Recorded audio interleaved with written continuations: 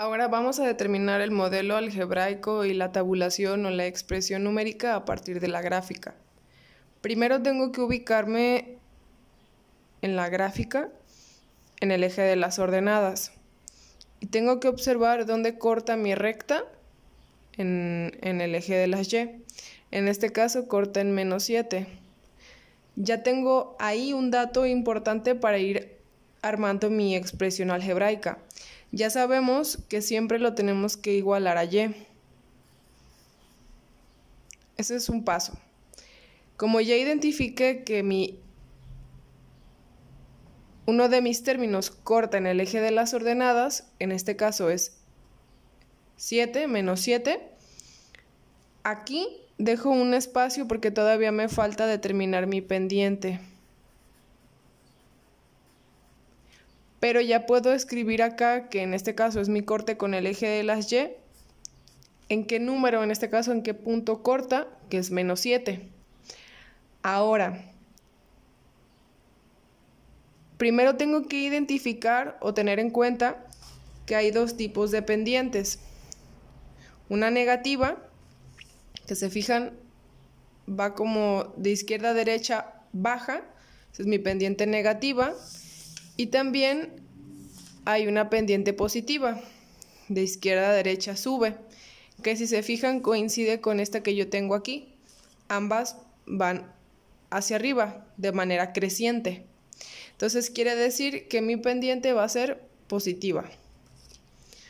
Ahora, siempre que voy a transformar de lo gráfico a lo algebraico, en mi gráfica me muevo una posición a la derecha, como si saliera de, la línea del eje, y voy a contar la cantidad de espacios que hay hasta la siguiente coordenada. Entonces ya salí uno, ahora cuento 1, 2, 3, 4.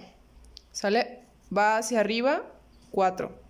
De nuevo hago lo mismo, salgo uno a la derecha y cuento para ver si se repite.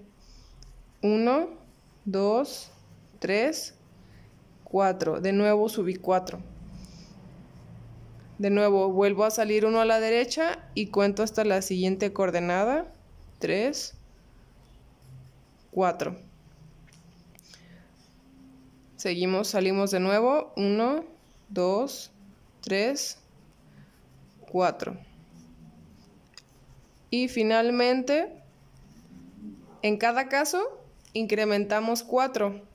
Quiere decir que mi pendiente es 4x y además es positiva por lo que veíamos en el ejemplo.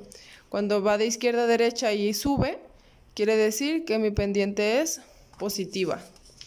Entonces ya tengo ahora mi expresión algebraica. A la pendiente siempre la acompaña la x. Es importante que pongan el signo de este lado. Ahora, ¿cómo voy a encontrar mi tabulación? Fácil. Puedo observar mis coordenadas en la gráfica. Entonces, si estoy en 0, si estoy en el origen o si estoy en 0 en X, bajo 7. Entonces, en Y está menos 7. Ahora, si estoy en 1, mi coordenada en Y es menos 3. Si estoy en 2, mi coordenada es en Y es 1. Si estoy en 3, mi coordenada en Y es 5. Si estoy en 4, mi coordenada está en 9. Y si estoy en 5, mi coordenada está en 13. Ahora, si lo quieren hacer de manera analítica usando sustitución, tomo mi expresión algebraica y en lugar de poner x, Voy a poner los valores que me están dando de este lado. Entonces, 4 por 0 es 0, me da menos 7. Aquí está. 4 por 1, 4 menos 7. Menos 3, acuérdense que menos 7 más 4 se hace una resta y, gana el número, gana el signo que tiene el número con mayor valor absoluto, que en este caso es 7 y es negativo, entonces me queda menos 3.